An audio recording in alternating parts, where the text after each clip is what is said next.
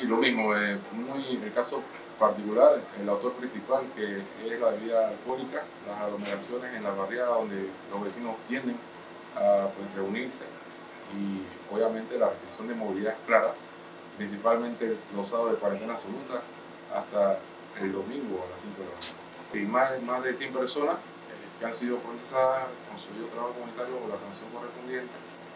Eh, lamentablemente el número no, no, no, baja, lo que quisiéramos es que bajara. Estamos trabajando con el Ministerio de Salud y la Fuerza Federal Común.